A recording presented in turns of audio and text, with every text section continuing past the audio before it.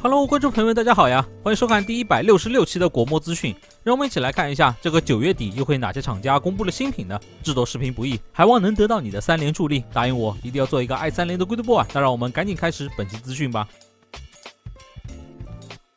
次元巨象这回带来了六款产品，分别是两款灵牙的本体，一款巨手组件，一款手杖组件，一款连枪组件，还有一款支架组件。老实说，这样的六款产品像是从一款产品里面分割出来的。好处就是每一款有着单独的售价，也便于玩家自行选择搭配，可以把钱花在刀刃上。那让我们来看看这六样东西分别都有些啥。首先看到的是灵牙本体，这款的预定价格是两百六十八元，现货价格为三百零八元。人偶的全高约十五厘米，它的配件有四张替换它的面雕虽不是可动眼设计，但做了拆卸眼，玩家可以按照自己的喜好替换不同的眼球。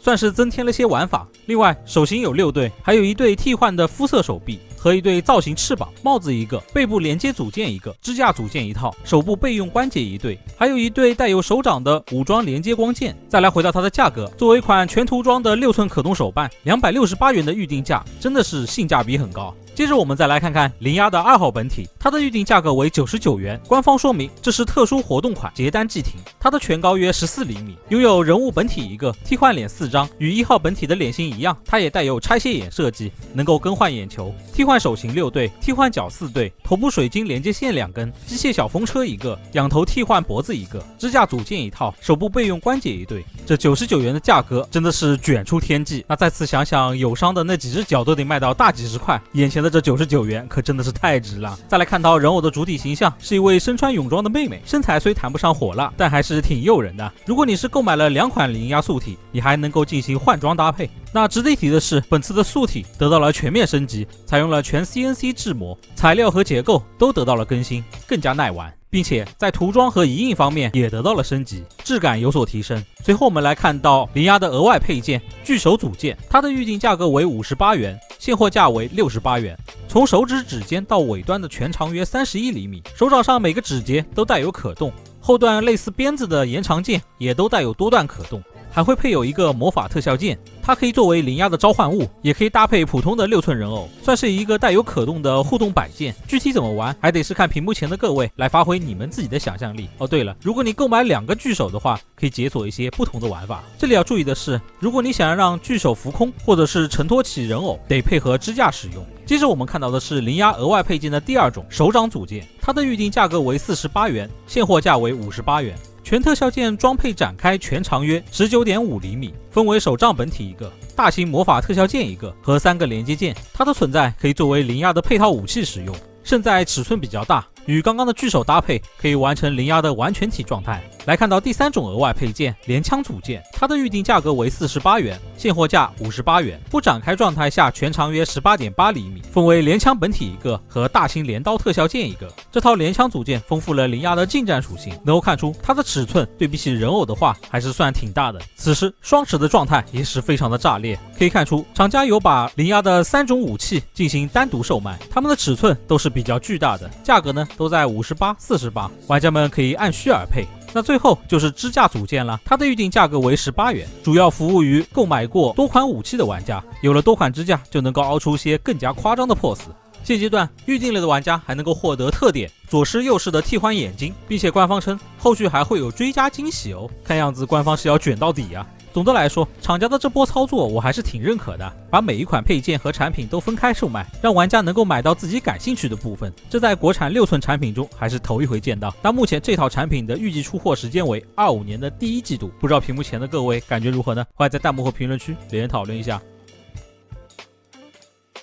沃之可这回带来的是《我的异世界冒险》系列第三弹复苏者格丽莎，它的配件有主体一个、三张可替换的面雕、三对替换手型、眼球调节棒一个、地台支架一套。预定的特点为土堆，可以将格丽莎的手臂拔下后安装在上面，营造出复活的场景。刚刚聊到的三张替换脸，只有一张张嘴脸是带有可动眼的，其他两张均为一印脸。值得一提的是，它的眉毛可以调整角度来配合它的不同表情，看起来会更加的生动些。关于它的主体形象，是一个身上。缠满绷带的僵尸，我只可采用了全新设计的素体来还原原画的凹凸有致和肉感。你别说，这僵尸看起来确实是挺肉的，而且那绷带贼大，你觉得呢？目前这款格丽莎的预定售价为两百五十八元，预计出货时间二五年的第一季度。不知道这样一位肉感复苏者会是你的菜吗？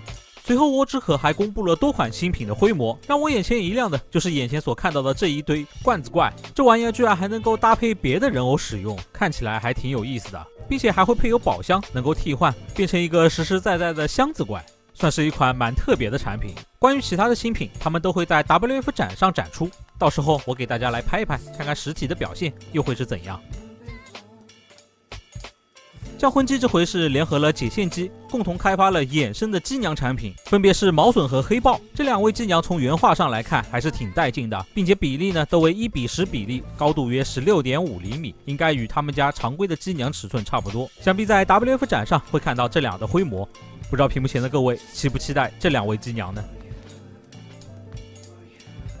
素心这回更新了狙击手雷奥尼的官图，这是款一比十二比例的可动人偶，它的全高约十五点五厘米，它的全身都带有涂装，整体的外观呢采用的是经典的兔女郎形象，并配有螺旋样式的双马尾发型，丝袜也是一只脚有穿，另外一只脚则是没穿。它的替换表情脸一共有四张，虽说不是可动眼设计，但这个颜值我认为还是可以的，挺好看的，并且有些表情呢表现的是有点水平啊。那在它的武器配件方面呢，有六对替换手型，士气章一个，避盾。一枚兔耳朵两对，装备固定腿环两个，地台支架一套。另外，它的武器部分则是以拼装的样式呈现，其中包含它的主武器狙击枪和两枚弹夹，还有武器战术箱、手枪格洛克十八和两发手枪弹夹，以及手枪战术快拔枪套和战术工兵铲。以上这些武器都需要玩家自行拼装。那目前这款产品的特点是战术手型握持手一对和实体的狗牌。目前本款产品的预售价格为两百八十八元，预计出货时间二五年的第二季度。感兴趣的小伙伴可以行动起来了。核能矩阵这回带来了三款新品，首先看到的是飓风飞黄。这是核能矩阵原创 IP《赛博森林》系列的昆虫系女性角色飓风飞蝗夜风蝉。它人偶的全高约十六厘米，带有一辆机车摩托，身上的甲虫盔甲看上去多少有点假面骑士的元素。再看它的配色，我感觉是有点致敬《灵异》里面的阎罗蝗虫。记得他们家还有一个红色像卡普托一样的机娘，也有点期待啊。接着登场的是《赛博森林》里的狂炫鹰豹，这是该系列里面的飞行系女性角色玛利亚施特劳斯。它有着一对蝙蝠翅膀和一把硕大的镰刀，蝙蝠翅膀能够变成独立的飞行器。另外，它还有一把吉他和两个类似音响的小蝙蝠。这个玩意儿看起来跟人鱼还挺配啊！看样子到时候能够组一个小乐队了，是不是？第三款登场的是核能矩阵原创 IP 仪式系列机甲白色神材，本品的高度约二十五厘米，是他们家除机娘产品之外的首款机甲产品。外观方面有着很独特的造型，与那些擦边钢普拉很不一样，算是有自己的风格。至于好不好看，还得是屏幕前的各位你来说的算啊。届时这三款产品也会登陆上海 WF，到时候给大家拍一拍，看一看，看看实物会长什么样。凡境的哪吒此次是公开了售价，分别是幺九九的标准版和二九九的豪华版。两个版本的差别在于，豪华版增加了三头四臂，额外增加一个面雕，烽火轮会带有灯效，多一把火尖枪，增加四对手型，火焰底座支架一套，名牌一个。从玩点来看，二九九的豪华版可玩性会丰富上很多，反观普通版则会平淡一些。另外，官方还给它配备了一个配件包，一对兰花指和莲花地台。那再结合刚刚的两个版本，每一款的价格会再上涨三十元。此时标准版加配件包的价格为两百二十九元，豪华版加配件包的价格为三百二十九元。首批预定的玩家还能够获得预售特点，一对特殊手型和一个透明材质的乾坤圈，以及透明材质的阴阳双剑。那关于它的出货时间，目前不得而知，感兴趣的小伙伴可以自行留意一下。核魔线的超限零点第二弹孤影，它来了。这款模型是一比十比例的拼装模型，它的全高约十九厘米。虽说是超限零点的第二弹，但在它的身上一点都没看出上一款塔斯提尔的影子，可谓是有很多新规部分。然后整体的造型也会偏向于忍者风格，并且还配备了一个鬼面以及布衣披风，让它看起来非常的酷炫。配件包的内容为黎明众小队，孤影本体中含有的额外黑色外甲板件和红色透明件，通过替换红黑配色与配件包中的四个面具与武器搭配，从而组成的新的四名成员分别是零一、零二、零三、零四。具体来说，配件包里面呢，就是配备了四名成员的面具及武器。还配备了一道多功能面板，除了可以挂载武器外，孤影或者其他成员也可以通过连接臂摆出身体站在墙上的动作。所以说，这套配件包能够让孤影切换成不同的角色。这黎明众小队仿佛就有点像是暗部一样的感觉啊！目前这款孤影的主体售价为九十九元，孤影配件包的售价为五十九元，通用地台的售价为三十九元。套装售价为一百八十八元，预计出货时间二四年的年底。购买套装的玩家还能够获得特点，适配于孤影专用的武器特效键和闪电特效键。有一说一，这两条特效键的加入，给孤影的档次直接翻了一番啊！在武器特效键部分，它还做出了能量流动的效果，这个摆起 pose 来就很加分啊，能够表现出人偶的动势。魔兽这次也是带来了多款新品的预告。至于之前看过的呢，这里就不多做介绍了，我们就来看看之前没有看到过的。就比如说现在所登场的霸王，上色完后的表现呢，使得整体非常的厚重，看起来极具攻击性，而且也有着很强的防御力，是目前先祖效应机体中我个人最喜欢的一款。随后看到的是温侯，没想到这次展出的灰模，它在背部增加了飞行装置，并且整体的造型也有做微调，感觉得去 WF 现场实际看一看。接着登场的这个预告就有点炸裂了，是他们联合了解线机共同推出的卓越级毛笋。首先把它放到卓越级，想必是会走亲民路线，但外加细节如此丰富的机体做成小比例，我感觉是挺有难度的。期待魔兽能交出一份满意的答卷喽。接着是公布了卓越级梵天丸的实物表现，主体配色依旧走的是至臻级同款分色，部分外甲的造型啊是有点不同的。从现有的资料上来看，武器装备的规格与至臻级保持一致，这点很好。接下来就看它的价格和发售时间了，很是期待它的表现。接着登场的是同为卓越级的禁卫兵特战型，好家伙，之前说好要做成拼装版的，现在直接把你变成了成品，这点非常 nice 啊，比较适合我这种手残党来玩。那它的整体外观风格非常的粗犷，很有军武风。此外还有猎狐犬小队，同样也是变成了成品的卓越级。这三款毛子机带有不同的装备，无论是手上的利爪，还是背后的大刀，又或者是大盾或大炮。无不体现这款机体的攻击性，不知道这样粗犷的机体是否合你的胃口啊？最后他们带来了两款王者荣耀的机体，都为卓越级的合金成品模型，分别是后羿的无尽星芒，还有孙悟空的齐天大圣。单从两款的规模上来看，有高度的还原游戏中的形象，且在外形方面增添了很多机甲细节，样子我觉得是 OK 的。接下来就等价格和发售时间了，这联名可别搞得太贵啊！届时我们去 WF 现场看看两款的实物表现。最后魔兽还公布了至臻 X 级黄雷我的灰模，这次的黄雷我与之前的原画呢有点出入，它在背部增加了两条巨手。这四臂的样子确实挺酷炫，只是后面的连接感似乎有点单薄了，希望能改得更自然些。关于正面呢，依旧是大张的超级系风格，不知道你是否期待这款产品呢？还没完，魔兽又公布了至臻 X 级战国魔神豪将军的上色实物，它的整体外观有着极大程度的魔感，要是不上这身配色的话，第一眼估计很难会被认出。那如今上了色之后啊，就能够一目了然了。那除了它的整体外观方面呢，对于武器的各个形态也进行了一一展示，并且似乎胸部的 X 标志也能够发光，到时候去 WF 现场一探究竟啊！这回 WF 的限定品是一款金色配色的湖中骑士，价格八百三十元，不知道屏幕前的各位感觉如何呢？欢迎在弹幕或评论区留言讨论一下。CCS 这回带来了两套产品的预告。首先看到的是名为“铁匠”系列的首款产品——真盖塔世界最后之日中的盖塔小队。它包含了盖塔的三种形态。据小道消息称，每款产品的高度约十五至十八厘米，应该会带有合金。预估的价格在一千五百上下。如果这些消息准确的话，可以把它看作单款售价五百左右。这样一想，好像也还过得去啊。期待日后官方来公布它的更多信息吧。随后，他们还推出了一款可动人偶，是细胞分裂中的山姆费舍尔，它的比例应该是一比十二比例。可惜官方只公布了这么一张图片，对于它的其他信息呢，都不得而知。感兴趣的小伙伴可以自行留意一下。海亚玩具这回带来的是千禧年哥斯拉，本品的全高约十八厘米，带有一对可替换的手型。玩具的外观忠实再现哥斯拉凶狠的眼神，如爬虫类般的利齿与大嘴，犀利的墨绿色皮肤等皮套细节。牙齿和利爪以泛黄的旧化涂装，让它更具生物感。背鳍末端则是采用了紫色涂装，让它格外的抢眼。全身附有多个关节，尾巴也由多段关节组合而成。活动性呢还算不错，可以参考一下官图的表现。目前这款千禧年哥斯拉的预定售价为两百四十九元，预计出货时间二五年的第二季度。你别说，这款的官图拍的真的是有模有样，还原度也挺高的。希望明年第二季度的大货也能维持一样的水准啊！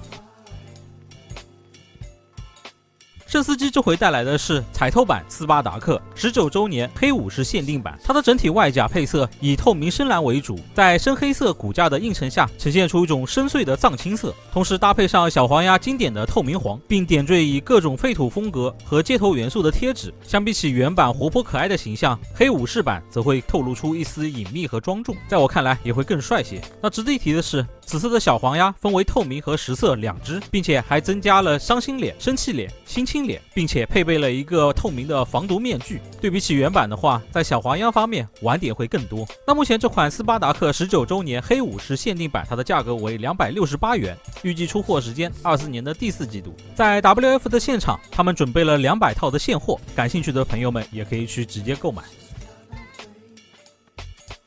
魂上动漫这回带来的是东映公司授权的铁甲小宝系列拼装模型第一弹卡布达合金骨架拼装模型套装。看到它放弃了魔改的设计，我很欣慰。现在模样呢，又有点像是古早玩具的那种设计风格，好不好看，由屏幕前的你来决定。本品的全高约十八厘米，带有金属骨架，外加板件的红色、黑色、银色部分点缀金属色，都有做预涂装。声称能够通过简单的组装就能够得到类似合金成品的效果，具有完全变形功能，不用拆卸零件。在小跑形态下，提供了三张空白替换脸，并配有多个水贴，可以选择使用。那我觉得本套产品最最大的亮点就是在于它提供了开凿机和潜水组件。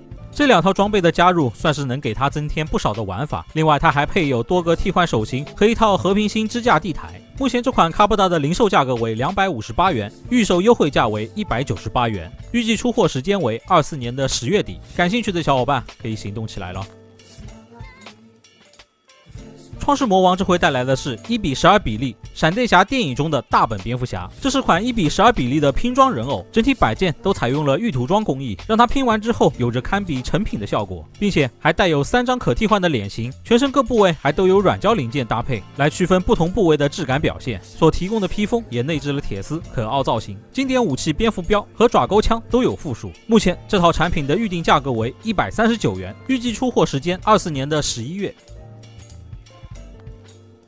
积禾工业带来了一款新品，名叫奥博龙。这是款一比一百比例的机体，它到头顶的高度约二十三厘米，翼展最大全长约五十二厘米。在我看到它的第一瞬间，我惊了一下。嗯，难道是白雪姬？当我把眼睛擦亮了之后，一看主体，我的乖，这不是神高达吗？这怎么背后的光圈不用，现在改用翅膀了？我觉得这款机体要是纳入到创战者系列里面，应该也是能够让人大跌眼镜啊！能把这两个元素融入到一起，我也是蛮佩服你们的。那至于这款机体好不好看呢？还得是问问屏幕前的各位，你觉得它行不行啊？不出意外的话，这款产品的产品配置应该会跟上一款卡戎差不多，价格呢也估计差不多。不过有一说一啊，我现在最最最期待的是它的配色，不知道会整成什么样子，有点期待呢。三菱这回带来的是 Fig Zero 系列的一比六比例蝗虫怪人，这是新假面骑士里面的杂兵啊。它的全高约二十九点七厘米，全身拥有超过三十二个可动关节，面罩下颚部分带有可调节长度的可动设计。全身的服饰采用的是定制服装，有着很高的还原度。另外，它还配备了五组可替换的手型，一把冲锋步枪，一把带枪套的手枪。目前本款产品的售价为一千三百五十元，预计出货时间二五年的第一至第二季度。随后还带来了适配于这一位蝗虫怪人的旋风号摩托车，它的尺寸为长度三十五厘米，高度十九厘米，宽度九厘米。其实它与之前新一号所骑的旋风号可以说是同模，只换了个颜色，所以玩法啥都是一模一样。只是这一辆旋风号呢，是适配于怪人所骑的摩托车啊。那这款目前的售价为一千七百二十元，预计出货时间二五年的第一至第二季度。OK，那么以上就是这期国模资讯的全部内容。关于 WF 期间国模会上新的一些限定品，我会单开一期，记得关注一下。想要了解更多新鲜好玩的国产模型，可以关注一下我的频道。你的长按点赞也是对我最大的支持。我是神殿组长，我们下期再见，瞧。